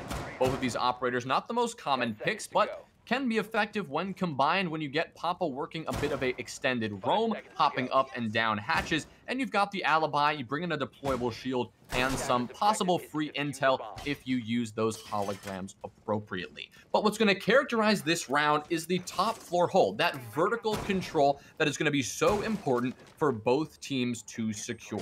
When you're defending either of these tertiary bomb sites, either meeting or kitchen or dining or kitchen, that top floor control is essential to any strong defense or any strong attack. And that is why we see our defenders setting up quite a bit of utility up there. And that is also why we are going to see these attackers working their way in from the tower side. They're going to look to take that attic control and storm their way in from there. A little bit of damage dealt onto Bucka. I believe that was a bit of a wall bank coming in. But also, the issue is when you play this site, or rather when you don't play the meeting site, is that the attack doesn't have a, you know, line of sight into. When you play this, you basically can play this as if you are at meeting. You can reinforce that wall, play a little bit more passive than you would meeting. But now, you give up a little bit more territory without having to worry about, you know, anybody coming in immediately in. And speaking of immediately in, it's going to be Snooky and Crusade, along with Jax. They know exactly where they want to push in from, and they are going to pull off the attic once again. It doesn't look like anything has changed, at least as if this top floor bomb site was in play. First pick will ring out now. IRX, he's going to win that fight onto Derp. Papa's going to get the refrag onto Goose. Very early pick for both of these teams. Actually, it's more of a mid-round pick for both of them as 90 seconds are still left on the clock. Well, Bucka will find the headshot with the UMP and a brilliant flick. What a shot from Papa, landing the headshot onto Crusade. That is going to be a 2v4 now. Kettering with a substantial man advantage with Snooky and IRX, the remaining attackers to do all this work left. And the vertical control has not even been established yet. As two minutes now tick away off this clock, Buck is now caught in this corner, a brutal position to be held, to say the least but Anomaly will assist that, make it a bit easier for Bucka. A C4 raining from below will take out the Thermite. It's all up to the Maverick, caught between a rock and a hard place, needs to find something, but will be sprinting around, and the Super Shorty will be the end of Snooky. Bucka with a brilliant play, a nice double kill for the castle on that round, will characterize that one and give Kettering that round win, taking it now to that 3-2 score line three to two scoreline it is. And the only question is, do they elect to go to that top floor? And yes, it looks like they will, rather than going to a meeting hall kitchen. And I don't know if I like this call here because even with, you know, them holding off that pressure in the attic, they still weren't able to win those one-on-one gunfights in the attic. It had to take a flank and had to take a later on push when they were in to what seemed to be games and kids. So I don't know if I agree with him going up to this top floor site, but we will see if anything adjusts. And speaking of adjustments, I believe the Echo, yes, on Papa is in play. Yeah, the Echo will be brought out. It's always good to see Echo back in the meta, especially because he has been released from his quarantine period. But because of that sizable Echo nerf, those drones are no longer invisible. The way you play Echo has changed a bit. You can't simply just place the drone on the ceiling early round and hope it stays there for the remainder. You have to tuck them in some precarious positions, hide them in tougher spots to see on the ceiling in hopes that either you can gain some intel before they're shot out or hope that the attackers don't bother to check for them before they go for the plant in those closing seconds. But you mentioned it, Vial, this top floor hole that has been so elusive for Kettering thus far is going to be so important to focus on here. The one thing they have not been able to stop has been the five stack attic push. It has seemingly been too strong for Kettering to handle. But there's one adjustment, only one adjustment they need to make. Don't swing those attic angles. Once, just let them walk up attic and just hold the crossfire into kids and into games. If you hold that, we saw Snappy get a 4K. It was easy for Snappy because it was a fatal funnel that they walked on through. They all this defense has to do is allow the attackers to walk through those fatal funnels that it clearly seems that they are so eager to do so. They want to just send it into sight through a doorway. They don't want to bother getting a hard wall opening closet or establish this crossfire. So Kettering is going to need to make that adjustment to win this round. It is going to be so important because 4 to 2 scoreline is exactly what you're looking for on defense on your own map, especially when going on to attack. The only scary thing I am worried about is rather than giving up the early pick, which Derp is actually able to win that gunfight now at the attic, which is something that he hasn't been able to do very often. Now the only question is, is Bucka still on that late flank? And maybe is he going to be able to pull it off? The No, he elects to come back into armory, and it makes a lot of sense not wanting to play too aggressive. But the man advantage now in favor of Kettering, something that they haven't got on this top floor site once. Only question is, will the time be a factor? 90 seconds still left to play, but they do have this attic wall open, and they have to get rid of Derp. But Derp's going to swing and find himself a second kill. He's actually being able to win out these gunfights. But Snooky says no more to Derp, as now the gunfights will halt for a little bit, as some Gu mines will ring out. And now they're actually going to reinforce that kid's wall. I don't know how I feel about that, JC. Honestly, it's a perfect adjustment because you have every single attacker stuck in the attic and you know it. And now they're surrounded by hard walls and only one door to go through. Of course, there's a thermite. He could use that exothermic charge, but as we've seen from Kent State, they don't like opening hard walls. They like sending it through a doorway, and so now they are forced to make a huge adjustment. A brilliant decision to use that pocket reinforcement. You have to applaud that adjustment. And now, now it seems that Kent State are forced to make a huge pivot with 30 seconds to go. Now Snooky's going to enter Master, a place that no Kent State attacker has been entering from thus far tonight. And IRX will hit the floor. Snooky finds one headshot. Oh, oh my goodness! What a flick and a shot through the wall. That was impressive. I'm going to have to check those MOSS files there, but it's now a 2v2, but Papa will answer back and make it a 1v2 with the headshot delivered with the MP5S, and now it is up to Papa and Snappy to seal this one off. Here comes Jax pushing on through, but it will be denied.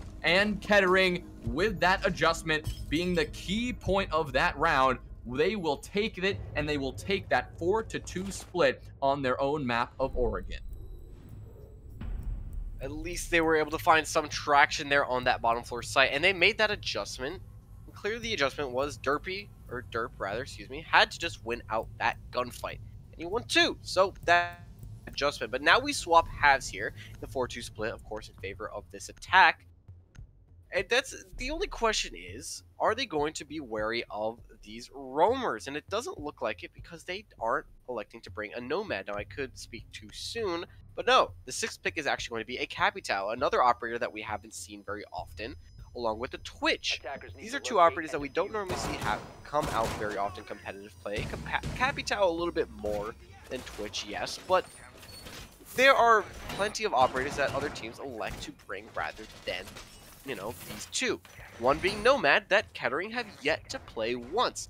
I don't know if I agree with this because Kent State, they've brought the Oryx a typical roam operator that, knowing Kent State, are going to elect to use on the roam. So this could prove to be very scary here as we enter in this top floor site. And now sitting here on the back foot, Kent State are in need of some aggression. They're in need of a solid roam, like you mentioned, Vial. I think you brought that great point, bringing that intel that we gained um, from that spectator's point of view, you know, from Clubhouse. We saw how effective the roam can be, and it is something that Kettering are going to have to deal with, you know, very efficiently if they are going to want to win these attacking rounds. You've got Snooky holding in small tower, and you've got Goose hanging out in the meeting hall. Of course, Snooky has now been droned. So he is now vulnerable, and Bucka is going to be looking to capitalize, but missing those shots. The timing not capitalizing there. But Snooky is now caught out in a brutal position, and Bucka will find the headshot. That is roam clear, dealt with at least that first roamer. Now it is Goose to deal with, and if you can deal with Goose, that is the roam gone, and that is exactly what Kettering struggled with on map number one. That could very well be all they need to do to take this round and take this map here. We're going to see more of our default strategy here, taking this in a more traditional manner, opening up closet, establishing that crossfire. Papa and Bucka will light up the scoreboard. Crusade will fall as will Jack. So it's all up to Goose and IRXS, but he will not be able to do it. Derp has the headshot onto one, and Bucka with the other. A flawless round from Kettering. Wow. Yeah, you put it best. Wow, there isn't really much else to say other than they were able to win the one-on-one gunfights. They saw that there were roamers on, and they were able to find one. I don't know if they were aware of Goose on that roam, and that could have proven to be a very fatal flaw if they were able to, you know, extend that round a little bit more, but no, now they have their fifth round on the board, and now two rounds away from not only closing out this map, but also this matchup. And this looks like all the momentum is in favor of Kettering. I would absolutely agree. They are now storming ahead to a 5 to 2 lead in a map that looked so close in that first half. It is slowly slipping away from Kent State's fingers. If they're not careful, Kettering could run away with this, and the scoreline, it wouldn't look too pretty for them. It could very well be that 14 to 7 scoreline if Kent State aren't able to rack up a couple of these defensive victories. And they are going to head straight back to kids. We've talked about going to the same site twice. It can be questionable, especially if you don't make, you know, drastic changes to change things up a bit, but that's exactly what Kent State are going to hope to do here. Hopefully their roamers uh, won't be caught out as early on. Hopefully they won't lose those early players and lose that early momentum that Kettering took and then stormed ahead with that site pressure. But in round number eight, all eyes are going to be on that roam clear. All eyes are going to be if Kettering can replicate some of that last round success and maybe even deliver another flawless round. I don't I don't necessarily love calling out players, but Crusade through eight rounds right now, or rather seven rounds, has yet to find a single frag.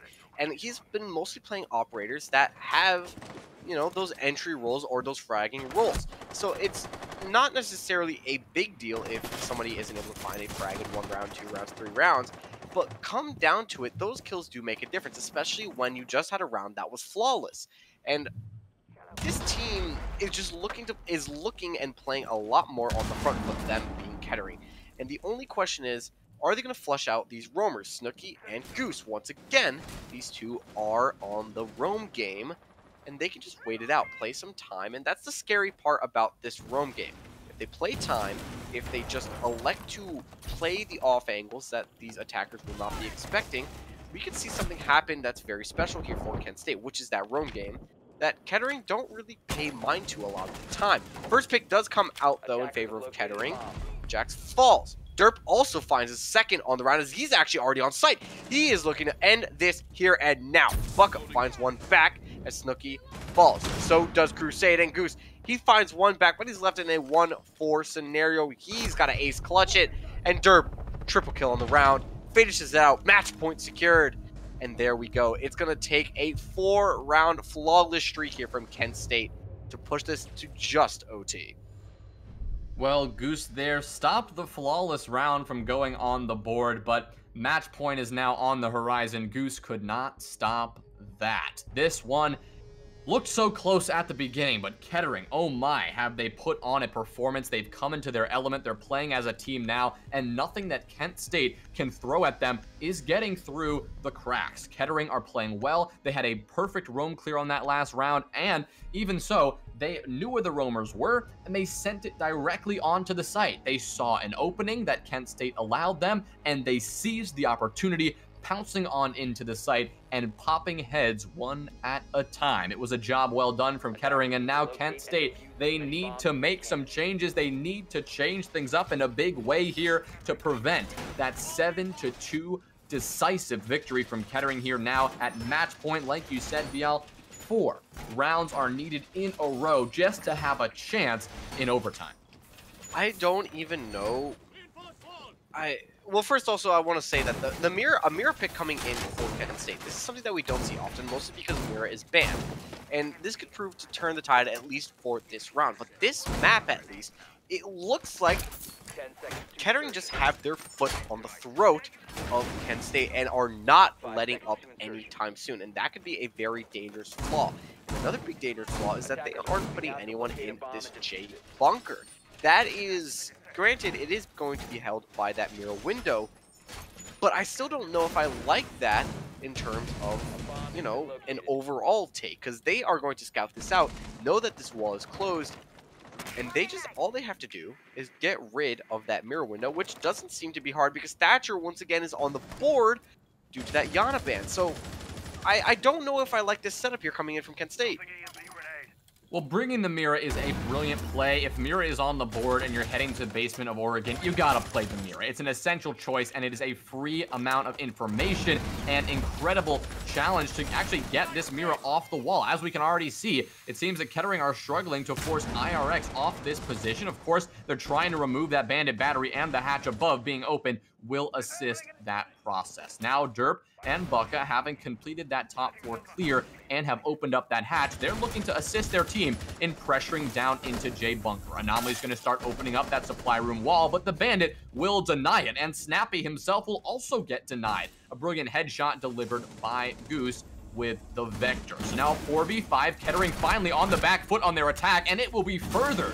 Goose, a double kill, taking down the Hibana. Derps the next to fall, but the trade finally rings true, and Papa will find the head of Goose. Now a 3v4. The Nitro Cell takes Anomaly down to 2 HP, and now with the AK-12, he's going to look for more, but Crusade will deny it. Now a 4v2. Kettering staring down a potential, their first round loss here on attack, as Kent State are hungry to find these last picks.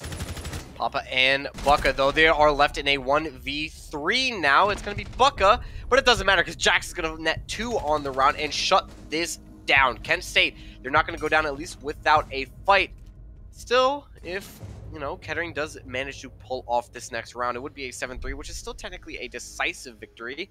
And I think, at least from what we've watched, Jay-Z, Kettering have looked a little bit decisive, at least on this map.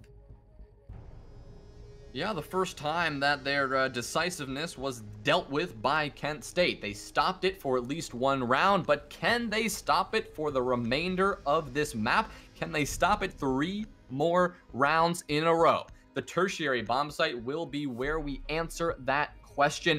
And last time we saw this site in play, we never actually got to see the bomb site actually played. It was all upstairs. The vertical play characterized the entire round. Nobody made it onto the first floor, at least from the attacking team. All the pressure was stopped at that top floor position. And so Kettering now on the attack.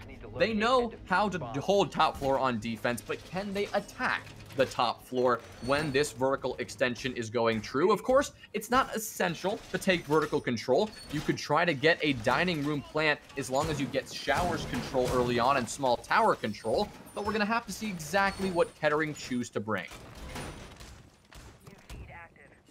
Now they are electing to bring the Mira as well. Once again, this operator played off dividends for them in the round before. And I, I hope, at least for the favor of Kent State, that it will again. Now, the only question is, where are you going to elect to place them? And it looks like one of them, Goose, is going to play them in that dining room site. And it makes a lot of sense. It gives you a lot of info in onto that. But the only question is, do you elect to put IRX, the bandit, on that wall once again? Because this is going to prove to be a very, very vital spot here for the attack. If they get this wall open and they get bathroom control, it could prove to be a very, very dangerous retake here for Kent State. But it looks like, at least as of right now, they want to go for a south and east side take for the attack. We're going to see Papa and Anomaly working their way in from the Master side. The reinforcement coming out last minute on this Master wall, but Papa not able to close off or at least find those shots. The wall will be reinforced, but Papa, 12 kills so far, looking to add to that total and find these upstairs defenders. That's going to be Jax, Snooky, and one more player hiding out in Kids waiting for this push to come through, but it will indeed as Papa finds the headshot, and here comes Bucka to join their teammate on this push. And Papa will be doing all the work dealing with this top floor presence as Derp will hop in the big window once again. We did we saw that two rounds ago, and now with that hard breach gadget, will be opening up that hatch to get the pressure mounting onto the site. Now Goose has been completely forced out of that position and needs to be very careful of this vertical play. The shots raining out from above and Goose is in a very tough position, hoping to get out of there alive, but that may be easier said than done. Will do it, but now with the mirror window popped, Goose is going to have to hold this with their lives. Just under 90 seconds here left to go, and Kettering, they just look to have the front foot and a foothold in this map. They just look to be a lot more dominant, and it's something that I was not expecting to come out, because typically we see teams fight back, whether it is when they lose their first map, and it's their map pick. So I'm very shocked right now to see Kettering playing at least a lot better than we were expecting. Goose is down here. Papa finds himself the triple kill. He is on for 15 and he might, he's looking hungry. He wants this ace now with 45 seconds left to go. He knows that someone is going to beat this angle here, and all they have to do is force their way down. Crusade finds Bucka. Bucka finds IRX. So that's going to deny the ace clutch, at least for now. I don't want to even call it a clutch, but Crusade, he has to finish this round out very soon and very quickly. The only question is, does he extend this map a little more? Now in a post-plant scenario, has no advantage whatsoever for his team and he's just might look to waste some time. Well, with 30 seconds left on this defuser, it's an impossible situation for the castle. It would be probably the best play in CR6 history if he were able to do that. And Derp will not allow it. The GG's in chat, and Kettering will take the series in what seemed to be a very decisive fashion, especially on Oregon, letting the community know they're sending a message right now. They deserve to be ranked in those collegiate R6 rankings. They deserve to be up there, and Kent State deserves to be relegated down that list. They both of these teams proved tonight that they absolutely have what it takes to compete at a high level of Siege, but Kettering proving that they compete a just a bit higher. Their strategies all across the board just seemed a bit more put together. It all seemed to click into position just a bit more for Kettering and Kent State. They were not able to make those on the fly adjustments that we saw Kettering do so well. Yeah, and at the end of the day, it comes down to adjustments because if a team is able to adjust, no matter what your strategy is or what a strategy is thrown at you, if you're able to adjust, you're going to be able to win the round because you're going to know what to do on the fly. You know what is going to be more available to you and what is going to be the best option. And speaking of best option, I think we have to give Papa that best option for MVP through two maps. This man balled out.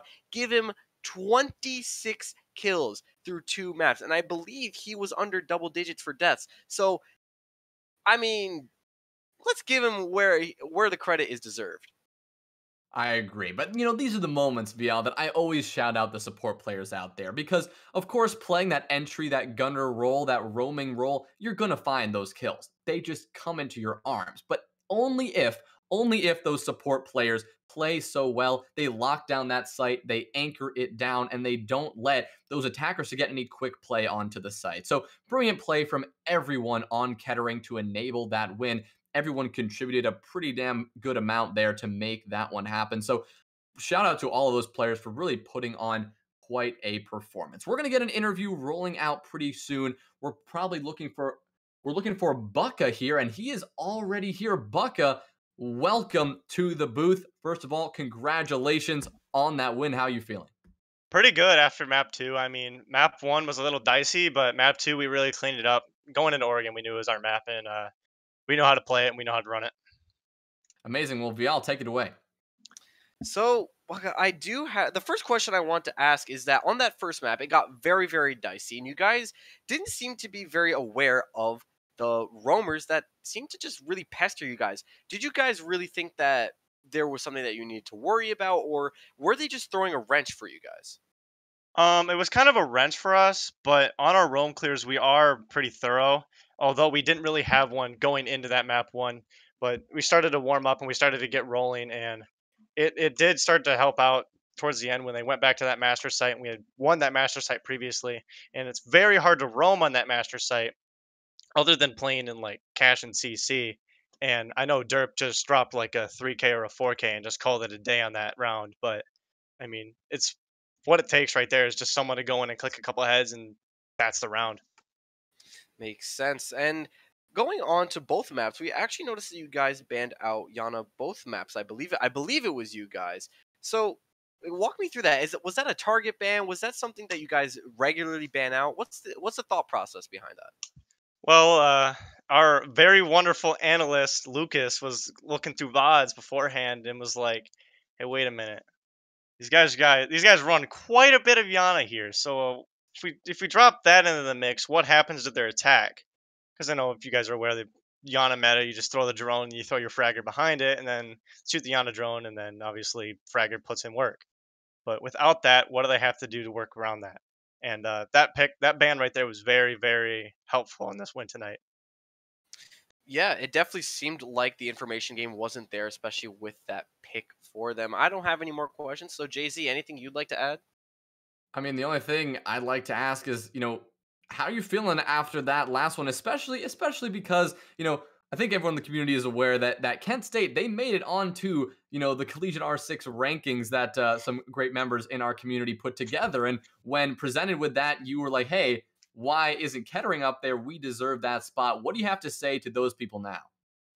Uh, I mean, truth in the truth in the scoreboards, right? I mean, you just gotta look at the scoreboard to show what's up. I mean, Snail Snail was really saying that the mathematics were going towards Kent State, but I mean, strength of schedule comes into play, and I mean, that is not in their metrics, I don't think at least. And we only had two less in round difference. And Snail was saying that Kent State's better than Kettering, blah, blah, blah, blah, and all this stuff. And uh, glad we put Snail in his place tonight. Yeah, you absolutely did. And you definitely answered the question of which team is better. Uh, and of course, this is the time where I'm going to pass the mic to you, my man. You have the opportunity to shout out your teammates, your supporters, anyone who you'd like. The mic is yours. Uh, I'd really like to support, uh, or, uh, give a shout out to my brother JB, who's also a fellow caster here. I know he casted last night. I know he's out there watching right now, and uh, definitely a shout out to Lucas. Uh, without his help, we we would not be where we are right now. I mean, his his assistance alone makes us such a better team with strats and research and scouting. All that, all the work that he puts in really pays off at the end of the day when it comes down to us playing and us getting the frags to win those rounds. Awesome. Well, once again, congratulations on your victory. We look forward to seeing you go for a run in the Open playoffs. Uh, wish you good good luck, Bucka. Thank you. I wish you guys good night. Good night. Well, ladies and gentlemen, you heard it here first. They put Snell in his place and they put Kent State in their place as well. That will do it for the first series of the night of this doubleheader, but we are not done yet. We've got UTSA versus Texas A&M coming up next, and that is going to be a showdown. That is a Premier Invite League match, the play-in for the round of 16 playoffs that will be happening next week. So it is a big deal. There is elimination on the line for one of these teams. So be sure to tune in for that. Grab a snack, grab some, and get back here ready to go. We'll be back in just a bit. So stick with us, and we'll see you in a moment.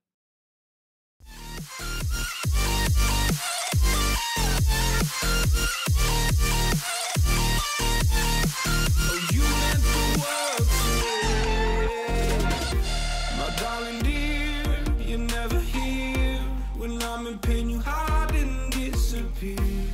shadows in the atmosphere, charting the stratosphere. Yeah.